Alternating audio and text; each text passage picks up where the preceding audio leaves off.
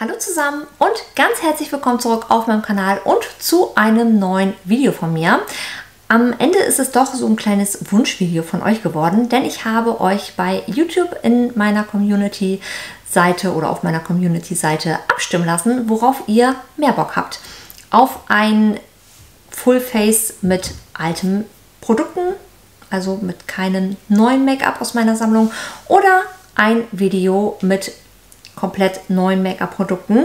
Und da war die Abstimmung eindeutig. Ihr wart für ein Full-Face-Video mit New Make-up-Produkten und das habe ich euch heute abgedreht. Dieser Look ist dabei entstanden und ich hoffe sehr, dass euch das Video am Ende gefallen wird. Da sind wirklich ein paar richtig, richtig tolle Schätzchen dabei, also nicht abschalten, bleibt unbedingt dran. Und dann würde ich sagen, springen wir jetzt gleich ins Video, damit es nicht allzu lange wird und ich wünsche euch ganz, ganz viel Spaß dabei. Als allererstes starte ich mit einer Foundation und da habe ich hier von L'Oreal Paris die Infallible 32 Stunden Fresh Wear Foundation mit Vitamin C und einem SPF von 25. Ich habe jetzt hier den Farbton 250 ähm, mit so einem warmen Unterton soll das sein. Ich fand das ein bisschen schwierig anhand von Swatches mitzubestellen, weil ähm, die ist dann doch ein bisschen dunkler leider geworden. Deswegen gucke ich mal, ob sie mir vielleicht jetzt vom Farbton her passt. Ihr seht es, glaube ich, ne? Die hat, ist schon relativ dunkel. Und ich werde sie mir jetzt einfach mal mit einem Finger so weit auftragen. Na, ich glaube, man kann das schon ganz gut erkennen, aber ich könnte sein, dass der Farbton jetzt einigermaßen passt. Bis vor ein paar Wochen war die mir leider noch zu dunkel, so dass ich sie gar nicht ähm, bis jetzt wirklich benutzen konnte. Ich hatte sie erst ein einziges Mal verwendet und da hat sie mir aber auch sehr gut gefallen, muss ich sagen. Und die arbeite ich mir jetzt einfach hier mit meinem Pinsel so weit ein. Mm, ich habe diesen Trick, mir die Foundation vorher so weit aufzutragen, auch ähm, auf YouTube bei irgendeinem Video einmal gesehen und habe das dann mal so für mich ausprobiert und das hat mir eigentlich ganz gut gefallen, als das Produkt mir auf dem Pinsel zu geben und dann direkt ins Gesicht zu gehen. Ich kann das so irgendwie einigermaßen besser ja, verteilen und habe nicht das ganze Produkt dann quasi auf einer Stelle. Das heißt, ich gehe jetzt einmal grob mit meinem Pinsel drüber und ich glaube, der Farbton sollte relativ gut passen. Und dann werde ich jetzt nochmal mit dem Sponge drüber gehen. Ähm, das hilft jetzt einfach nochmal das Ganze schön in die Haut einzuklopfen, einzuarbeiten, überschüssiges Produkt nochmal abzunehmen. Und dadurch soll das Ganze einfach so ein bisschen, ja, etwas ebenmäßiger aussehen und auch, ja, nicht so, nicht so aufgesetzt. So kann das Ganze halt schön verbinden mit der Haut. Ich bin sowieso eher Team wenig Foundation und deswegen ähm, Pinsel, Sponge, also alles, was unnötig ist, kann dann quasi abgetragen werden und dass wirklich nur noch ein geringer Teil dann in die Haut eingearbeitet wird. Und mir gefällt die Foundation super, super gut, weil ihr seht es, die hat einen richtig tollen Glow auf der Haut. Ich habe mir gestern gerade frisch meine Augenbrauen gefärbt. Ich glaube, das sieht man ganz deutlich, wie dunkel die wieder sind. Und ähm, ja, aber die Foundation sitzt richtig, richtig gut. Hier kann man das, glaube ich, ganz schön erkennen, wie schön das einfach aussieht auf der Haut. Ich mag das, wenn das so frisch aussieht und nicht so matt. Ähm, ja, das ist halt natürlich immer eine Geschmackssache. Aber ihr seht, ein Pumper hat super gereicht für mein komplettes Gesicht und ich mag diese Foundation richtig gerne und jetzt kann ich sie auch ähm, ganz gut wieder benutzen. Ja, ein ähm, Puder habe ich jetzt nicht. Einen neuen Concealer habe ich auch nicht in meiner Sammlung. Der ähm, kommt erst die Tage. Es gibt nämlich einen neuen Concealer von Danessa Myrix. Den habe ich mir schon bestellt. Der ist auch schon auf dem Weg, aber der ist noch nicht angekommen. Das heißt, wir überbrücken das Ganze jetzt. Und ich habe mir hier auch einen Bronzer rausgesucht. Aber das ist eben ein Puder Bronzer. Deswegen werde ich mir jetzt erstmal einfach ein bisschen die Haut abpudern, damit ich mir den dann gleich besser auftragen kann. Und wie gesagt, da habe ich leider nichts Neues. Deswegen nehme ich jetzt einfach eins aus meiner Sammlung, welches ich da habe. Und ich mag ganz gerne so diese, äh, ähm, Loose Powder. Mag ich ein bisschen lieber als die gepressten. Und da lade ich mir so ein bisschen den Pinsel auf und gebe mir das Ganze dann einmal komplett über mein ganzes Gesicht drüber. Auch mehr so ein bisschen in drückenden Bewegungen, also nicht so reibend wischen, sondern eher eintupfend. Und trotzdem sieht man hier immer noch schön den Glow von der Foundation und das Puder ist halt eher mehr so ein Fixing Powder. Das ist jetzt nicht so ein, so ein, ähm, so ein stark abmattierendes Produkt. Deswegen benutze ich das ganz gerne, falls ihr Interesse haben solltet, welches ich da benutzt habe. Das ist von Lavera das Invisible Finish Loose Powder. Benutze ich auch sehr gerne. So, nun kommen wir wieder zu einem neuen Produkt in meiner Sammlung. Und zwar ähm, gibt es jetzt bei Purish im Online-Shop Melt Cosmetics. Da hatte ich bisher noch gar nichts von in meiner Sammlung und ich habe diesen Bronzer dort entdeckt und den musste ich mir unbedingt bestellen. Ich fand den so ultra spannend. Das ist der Farbton Santa Barbara und das ist der Ultra Matt Bronzer. Und ich finde das Packaging richtig, richtig schön.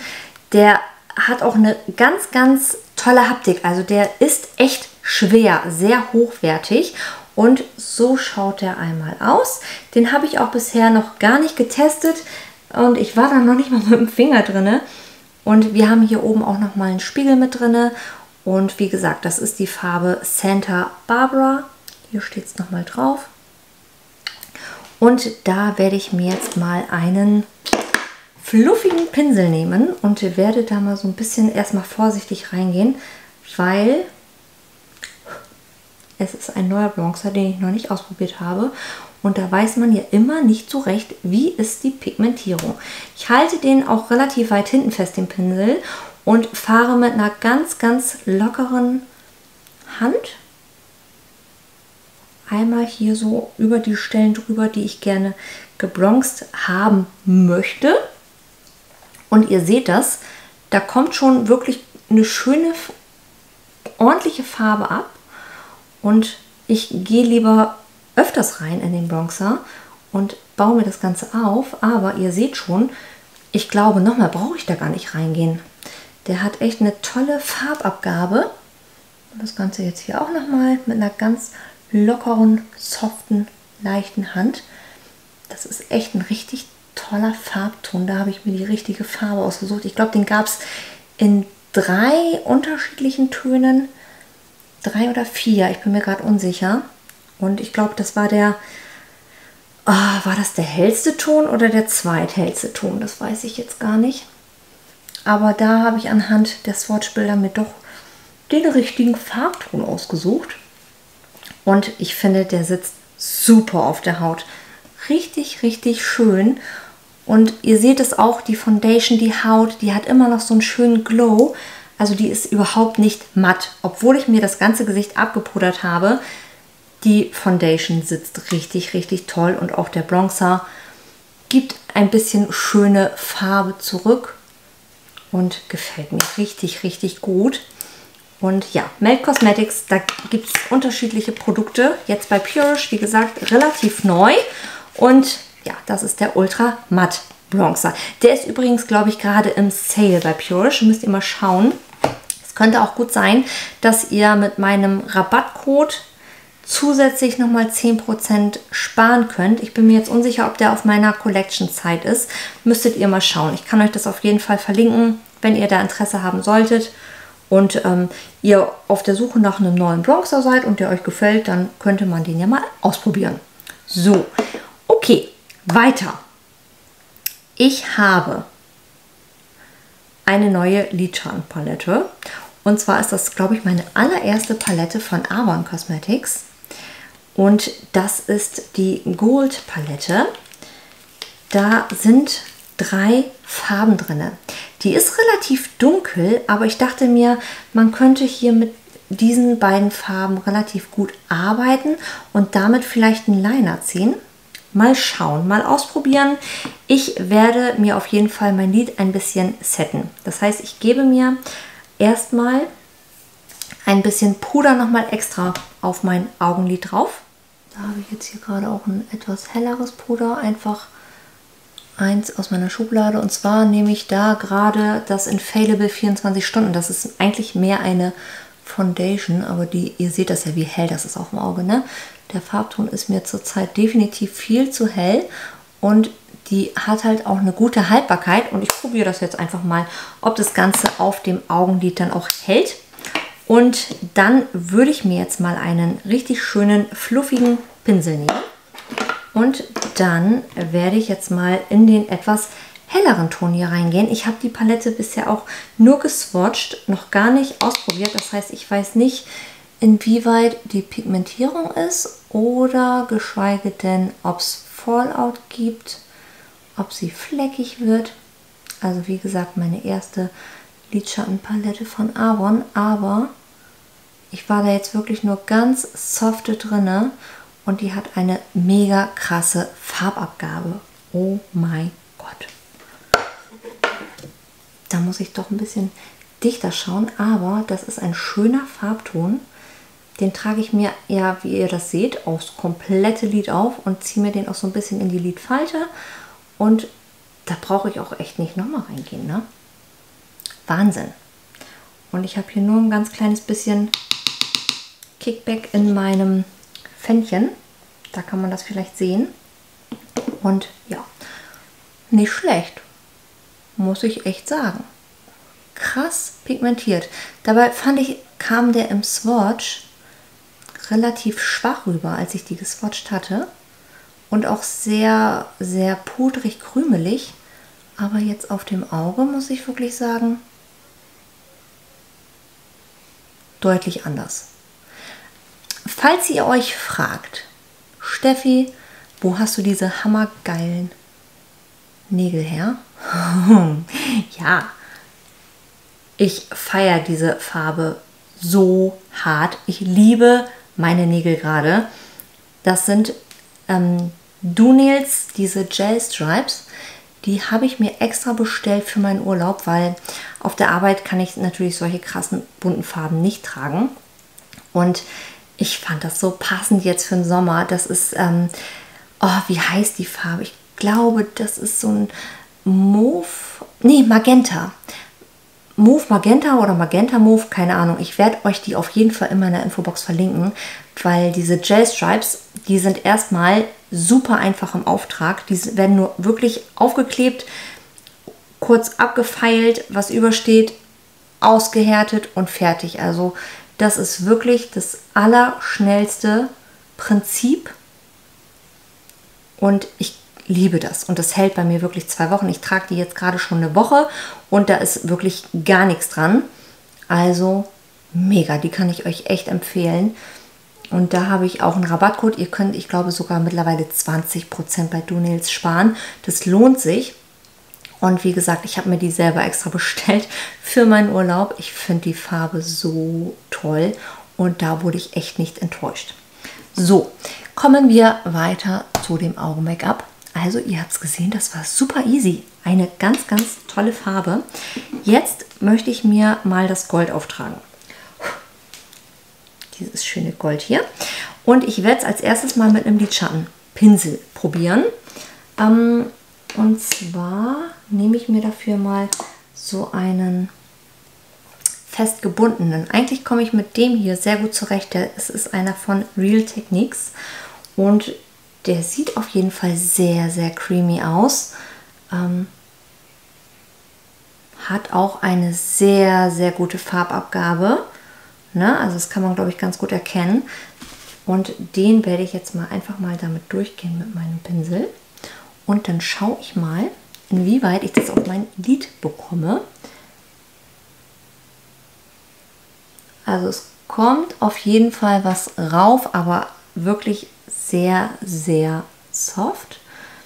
Da bräuchte man vielleicht doch eher einen Glitterglue. Da kann ich euch den von NYX auf jeden Fall empfehlen. Oder man nimmt den Finger. Also für was Dezentes, Zartes sieht das wirklich schön aus. Es hat wirklich nur so einen ganz leichten Glitzereffekt, so einen ganz leichten goldigen Schimmer. Ähm, ist toll für den Alltag. Ich werde jetzt mal auf der anderen Seite meinen Finger nehmen und da kommt auch auf jeden Fall schon ordentlich Produkt ab. Und das werde ich mir jetzt mal hier auftragen und dann gucken wir uns doch gleich einfach mal den Unterschied an, ob es da einen großen gibt. Doch, ich würde sagen, den sieht man auf jeden Fall den Unterschied. Und ich finde beides sehr schön. Das rechte, von euch aus das linke wahrscheinlich, mit dem Pinsel finde ich sehr, sehr schön für den Alltag. Und die Seite mit dem Finger ist wirklich sehr schön als ein etwas kräftigeres Augen-Make-up.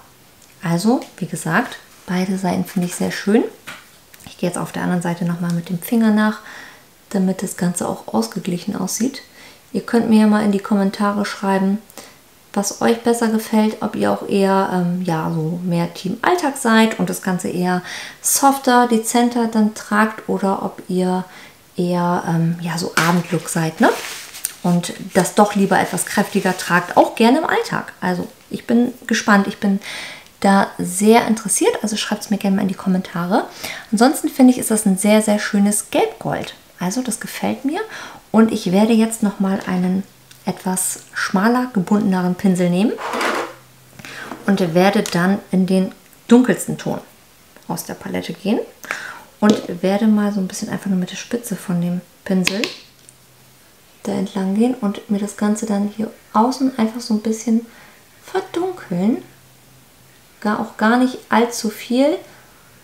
Das soll wirklich nur einen leichten Schatten erzeugen und einfach nur so ein bisschen am Wimpernkranz entlang gehen.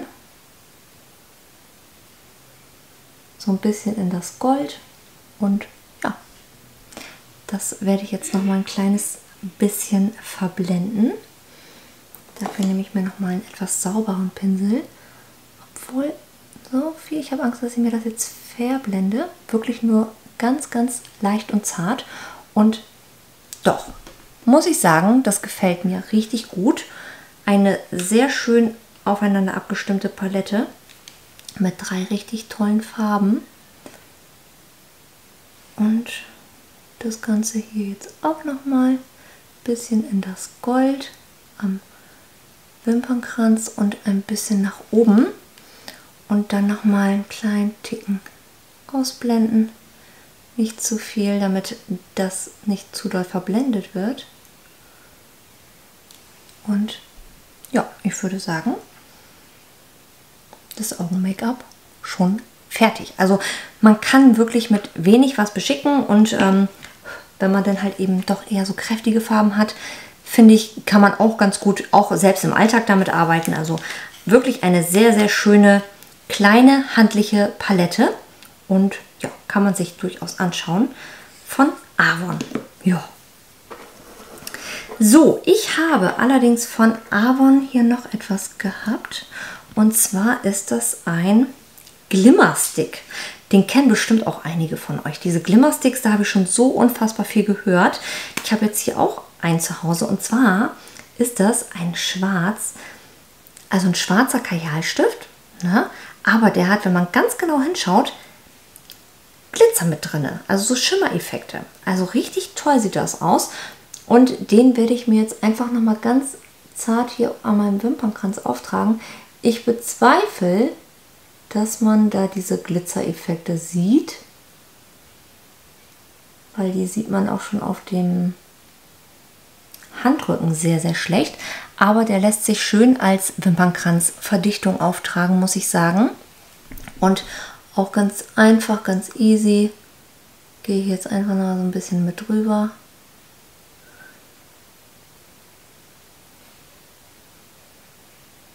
Finde es immer auf der anderen Seite einfacher. Die fällt mir immer echt schwer. Da muss ich immer ein bisschen dichter ran am Spiegel. Das geht nicht mit einem Spiegel in der Hand festhalten und malen. Und ja, so habe ich das einigermaßen gleich hinbekommen. So, aber wie gesagt, ähm, da sehe ich jetzt leider so keine Glitzerpartikel, aber das Gold hatte hier so ein kleines bisschen Fallout gehabt. Aber nicht schlimm, wirklich nur ein Hauch. Und ja, so würde ich das Ganze jetzt belassen. Und man könnte jetzt natürlich den Kajalstift auch noch ein bisschen aussoften, indem man nochmal so einen schmalen Pinsel nimmt und eventuell einfach nochmal so ein bisschen danach strichelt so ein bisschen. Dann ist er so ein bisschen ausgesoftet. Das ist aber echt so eine Geschmackssache. Ob man das machen möchte, muss man nicht. Und dann ist der Kajalstift auch nochmal so ein bisschen ausgesoftet und nicht ganz so stark, extrem. So, liebe Leute, ich habe für die Wimpern so eine hammerkrasse neue Mascara. Und zwar habe ich die in PR zugeschickt bekommen. So ein wunder, wunderschönes PR-Paket von Purish hat mich das erreicht. Und zwar hat mir Sauda vor längerer Zeit schon diese neue Mascara rausgebracht. Femuline, ich weiß nicht, ob man es so ausspricht, keine Ahnung. Aber ich finde erstmal dieses PR-Paket so unfassbar cool gestaltet. Also es öffnet sich wirklich ja wie so ein Buch. Es geht dann auch nochmal hier von der zweiten Seite auf. Ja, so. Und hier ist dann halt echt diese hammerkrasse Mascara drin. Liebe Leute, die habe ich mir schon einmal aufgetragen gehabt und ich war so verliebt. Wahnsinn. Wirklich Wahnsinn. Ähm, ja, so schaut das Packaging aus. Gefällt mir auch richtig gut. Sieht klasse aus. Und das Bürstchen ist auch voll mein Beuteschema. Vielleicht komme ich auch deswegen so gut mit ihr zurecht. Wir haben ein Gummibürstchen, wir haben es geschwungen und man kann damit super bis an die Wimpernwurzeln rankommen. Wirklich, es ist auch ein bisschen halt so biegsam. Es ist jetzt nicht so starr. Und ich werde mir die jetzt einfach mal auftragen. Und dann werde ich euch mal das Ergebnis zeigen, wie die einmal aussieht und einmal ohne. Also Wahnsinn. Und die lässt sich auch super leicht auftragen. Und dadurch, dass es halt so ein Gummibürstchen ist, damit komme ich immer sehr gut zurecht. Da kann man sich halt wirklich die Wimpern auch unfassbar gut trennen. Die hinterlässt eine super tolle Länge. Und wie gesagt, die Wimpern sind unfassbar gut getrennt.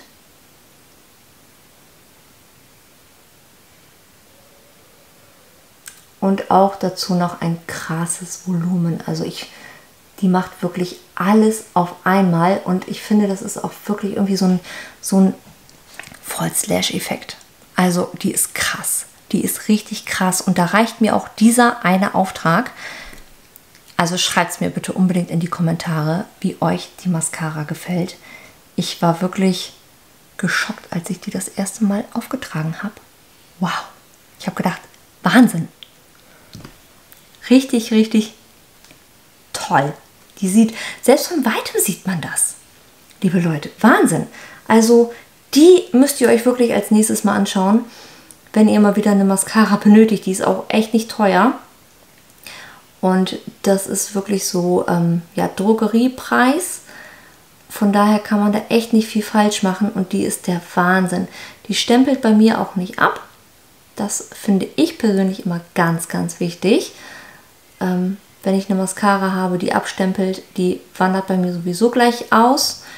Die kriegt von mir eine Chance und dann eventuell noch eine zweite. Und wenn sie dann weiter abstempelt, kommt die direkt weg.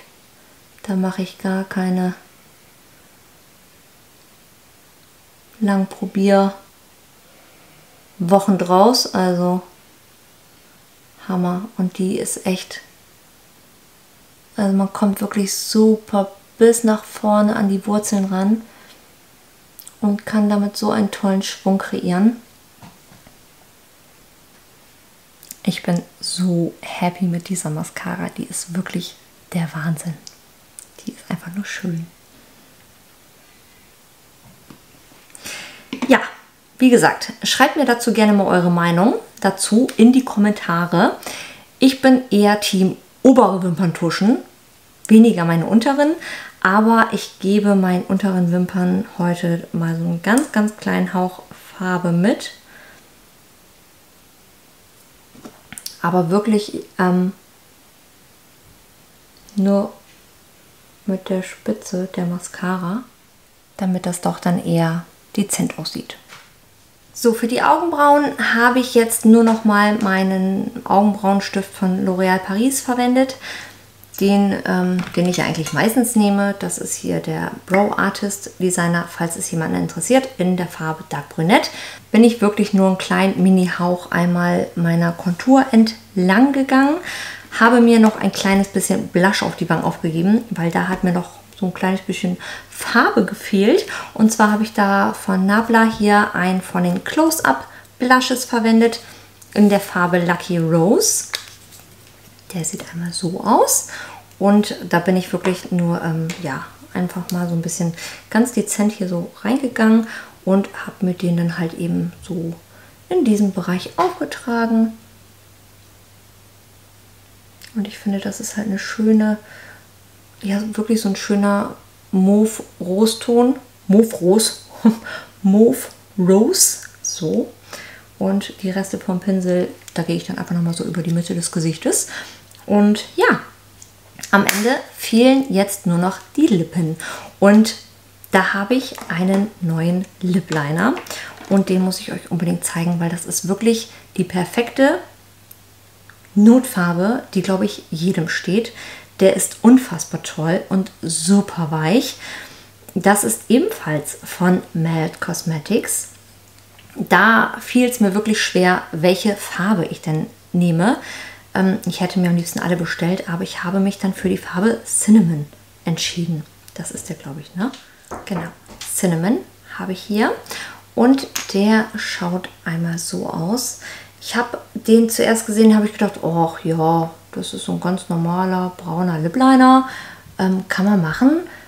Und dann habe ich mir den aufgetragen und habe gedacht, oh, du bist eine wunder wunderschöne Farbe. Du bist mein neuer Lieblingslip Liner. Was habe ich die ganzen Jahre nur ohne dich gemacht? Wahnsinn. Wirklich wunderschön.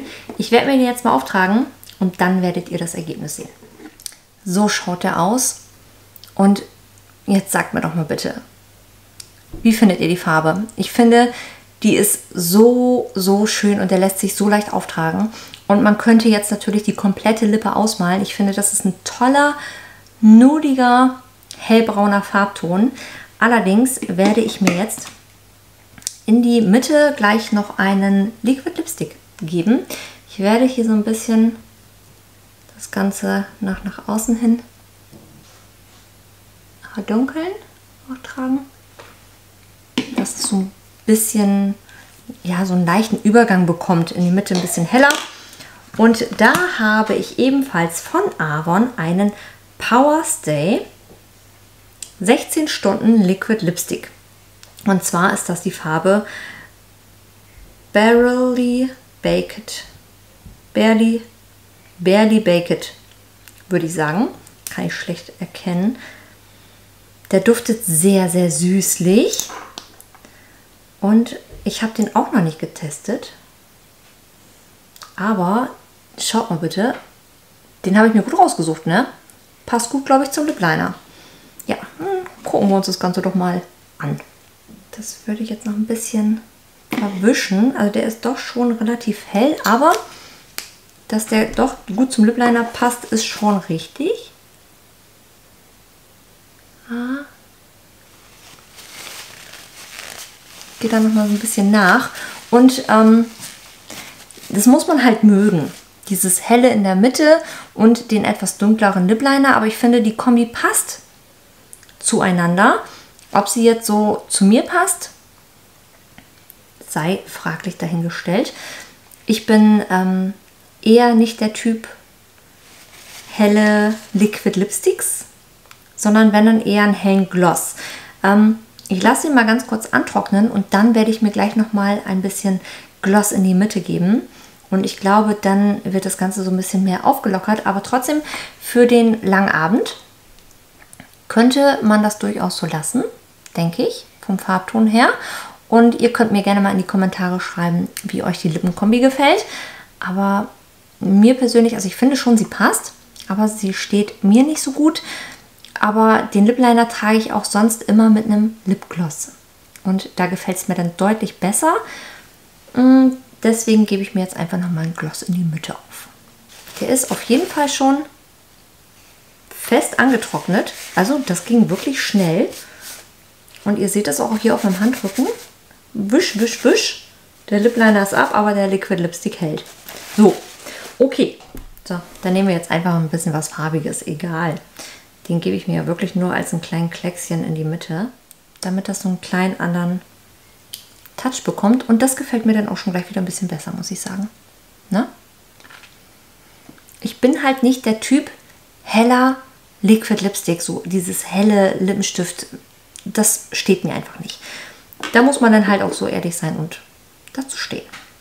So, okay, ihr Lieben, das ist mein fertiger Make-up-Look mit neuen Make-up-Produkten aus meiner Sammlung.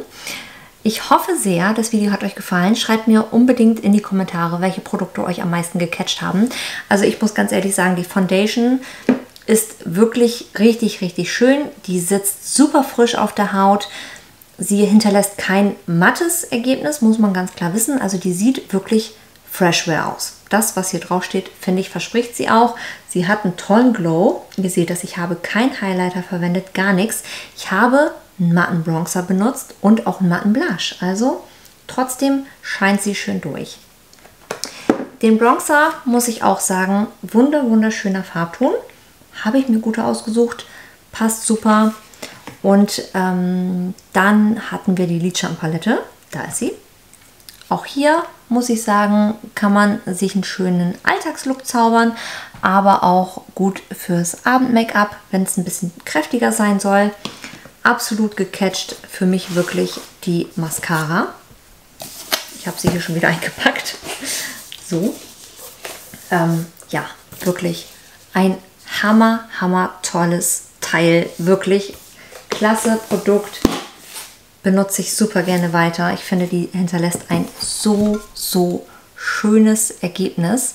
Und ähm, der Lip Liner ist sowieso voll meins, bin ich total verliebt drin. Den habe ich, wie gesagt, ja auch schon getestet gehabt und der liegt auch schon bei mir im Badezimmer. Also den benutze ich schon relativ fleißig. Und ähm, der Liquid Lipstick ist jetzt nicht so mein Farbton. So, ja, muss ich halt so ehrlich sein. Mal gucken. Ja, ansonsten, ach genau, der Kajal Eyeliner, Kajal Stift, der schwarze. Ähm, ja, kann man machen. Man sieht jetzt nicht so unbedingt die Glitzerpartikel. Ähm, vielleicht, wenn man den am unteren Wimpernkranz aufträgt, vielleicht könnte man das da eventuell ein bisschen mehr sehen. Ansonsten würde ich sagen, es ist einfach ein ganz stinknormaler schwarzer Kajalstift. Aber egal, weil den benutze ich sowieso jeden Tag. Von daher ist der halt echt willkommen in meiner Sammlung. Und ja, ihr Lieben, das war's mit meinem Video zu meinen ganzen neuen Make-up-Produkten. Ich hoffe sehr, das Video hat euch gefallen. Ich würde mich natürlich sehr darüber freuen, wenn ihr mir am Ende einen Daumen nach oben da lasst. Und falls du meinen Kanal an dieser Stelle noch nicht abonniert haben solltest und dir mein Content gefällt, dann ähm, abonniere doch gerne meinen Kanal. Das ist komplett kostenlos. Aktiviere auch gerne die Glocke, dann wirst du halt eben einmal erinnert, wenn ein neues Video online ist. Und ähm, ja, dann würde ich sagen, verabschiede ich mich bei euch. Ich wünsche euch allen einen wunderschönen Tag. Passt gut auf euch auf und dann bis zum nächsten Mal. Ciao!